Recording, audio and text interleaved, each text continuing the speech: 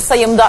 Telefon hattımızın diğer ucuna dönelim ve bir bilene soralım. ALB Forex yatırım uzmanı Volkan Kuğucuk'la konuşacağız. Günaydın Volkan Bey, hoş geldiniz yayınımıza.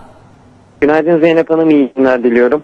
Teşekkür ediyoruz. Dün hem küresel çapta hem de içeride borsalara satış gelen, ciddi anlamda satış gelen bir günü geride bırakmış olduk.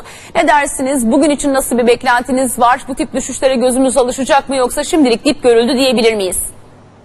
Son dip görüldü, e, hani biraz erken ama özellikle BIST endeksinde baktığımızda daha önce tepkinin geldiği 69 bin 70 bin bandı oldukça önemli bir band.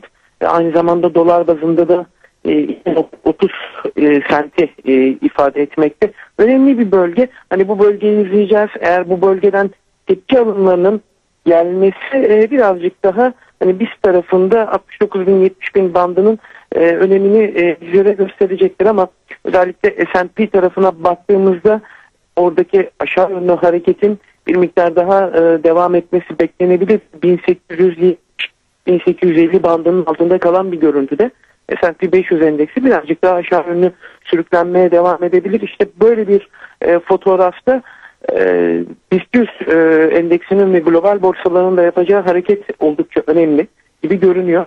Ama e, önümüzdeki günlerde eğer e, BIST 100 ana endeksini biz 75.000-75.500 bandı üzerinde e, kalab e, kalabilirse muhtemelen birazcık daha tepkilerin öne çıkabileceği bir döneme girebiliriz gibi görünüyor.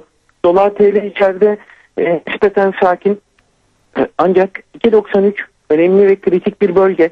Eğer 2.93 bir görüntüde biz dolar TL'yi görebilirsek bu sakinliğin yerine birazcık yukarı harekete bırakma konuşabiliriz.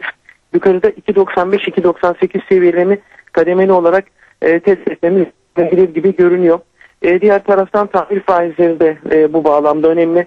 10.80-10.50 eşik eğer piyasalarda yani yurt içinde e, pozitif bir ayrışma tarafı kalabilmek adına tahvil faizlerinin de en azından 10.80-10.50 bandının altında kaldığını görmek gerekiyor.